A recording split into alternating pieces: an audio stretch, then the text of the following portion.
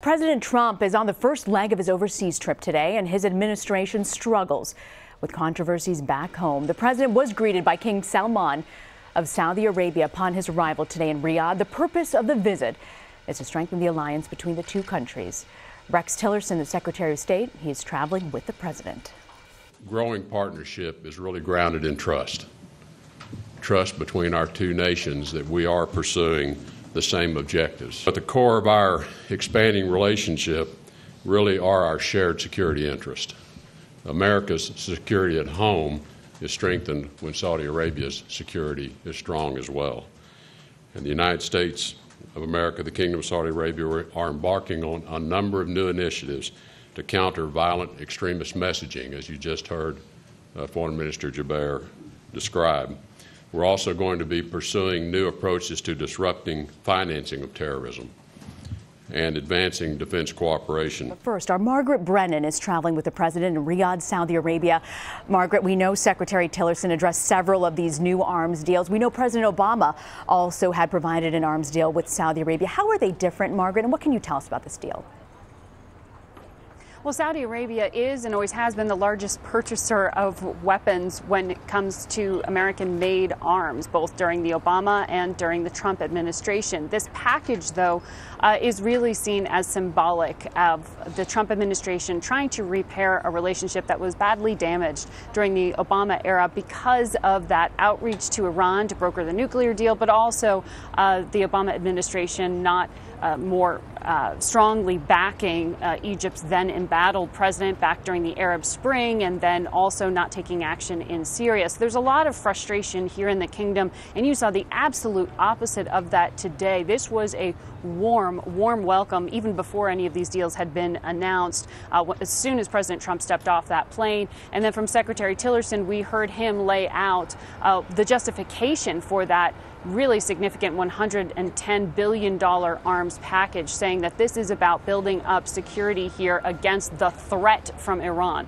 The repeated reference to Iran really part of that, drawing that distinction between the Trump and the Obama administration.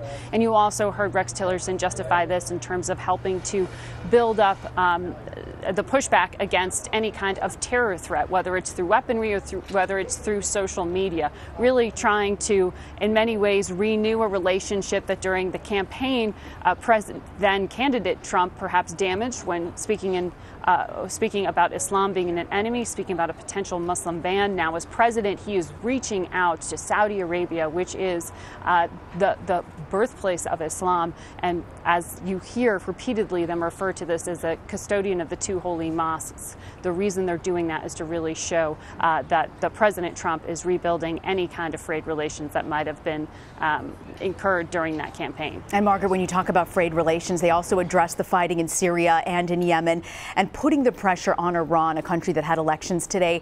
So as they strengthen this alliance with Saudi Arabia, what do you think it means for Iran, Margaret?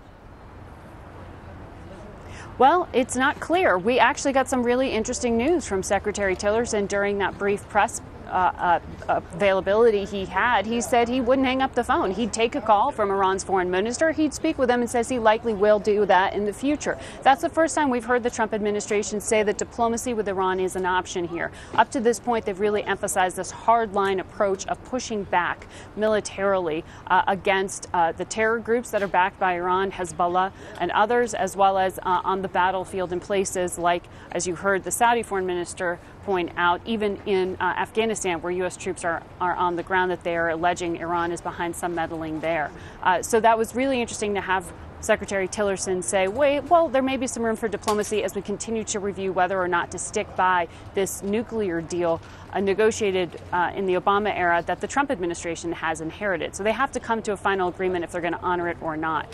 That was really interesting. Um, in terms of what you heard about that arms package, oh, a lot of that also has to do with the war in Yemen and Iran's influence there. Iran has been uh, supporting through arms and through some political support group of rebels that has uh, been embattled in a war, having overthrown the government in Yemen, which Saudi Arabia feels very threatened by because of their shared border. So this continued um, uh, provision of weaponry and specifically precision guided munitions is really supposed to help them.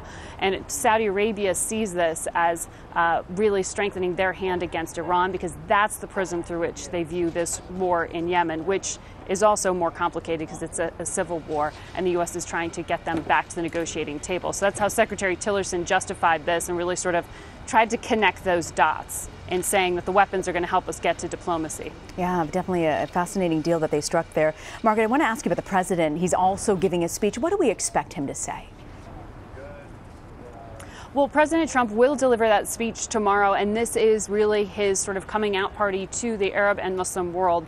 He will not only meet with the Saudi king as he did today, but he'll meet with a number of uh, leaders of Arab and Muslim majority countries, uh, more than 30 from what we have heard. We don't have the exact list of who he's going to chat with and shake hands with, but you can expect him to speak to uh, Egypt's President Sisi, others who he has really tried to welcome with open arms. Uh, so this is President Trump saying, now that I'm in office, I view things perhaps a bit differently.